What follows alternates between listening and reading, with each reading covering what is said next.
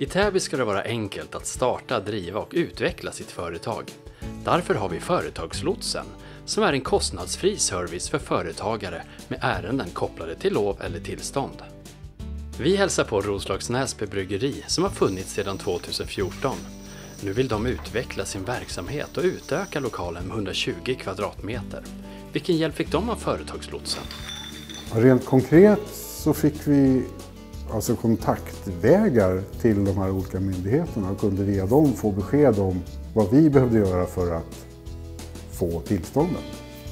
Ett lotsmöte tar ungefär 30 minuter till en timme. Mötet går till så att företagaren får träffa kommunen och de olika myndigheterna och enheterna vid ett och samma tillfälle.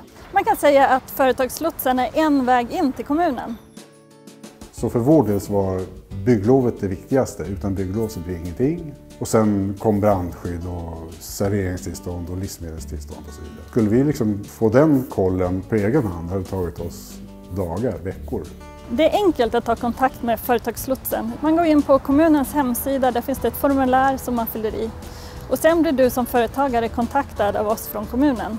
Vänd dig till Företagslotsen för där får du en bra överblick över vad du behöver göra för att utveckla ditt företag på det sätt du vill.